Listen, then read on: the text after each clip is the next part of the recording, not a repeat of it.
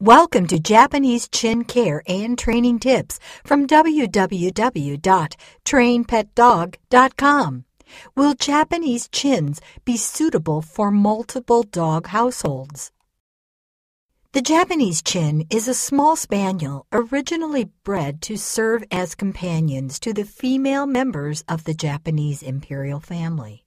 Its country of origin is still in dispute, as some claim that it originated in China and was only introduced into Japan in the 8th century BC. This breed has a large, broad head, a short muzzle, and wide set, protruding eyes. The single layer, silky coat varies in size and length. Most chins have white coats with black markings, although there can also be red coats with tan points. The average height of chins is 18 to 28 centimeters, while the average weight is 2 to 7 keg. Due to its pampered nature, Japanese chins are known to be mild mannered, dainty, and elegant. Chins are loyal to their owners, making them faithful companion dogs.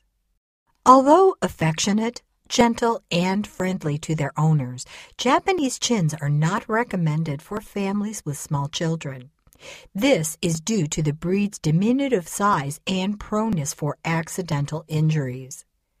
While chins are generally not child friendly for the most part, they are remarkably good and peaceful with other dogs and pets that may live with them in a home. There are many compelling reasons why Japanese chins are suitable for households with multiple dogs. Japanese chins are non barker dogs by nature. These dogs have often been compared to cats because of their quiet nature and cleanliness. If you already own other dogs that tend to bark extremely or incessantly over trivial things, a Japanese chin would not add up to noisy ruckus. Japanese chins only bark when they see a total stranger or sense something unusual has occurred. Japanese chins enjoy companionship a lot and are very dependent upon their owners. They love to be with their human families, fellow chins, and other household pets. Being left alone for extended periods of time can make a chin miserable and develop behavioral problems. For this reason, Japanese chins are not for pet owners who work long hours. However, a company of other dogs will make Japanese chins happy and entertained. Furthermore, socializing Japanese chins to become friendly towards other dogs is very easy when done as puppies.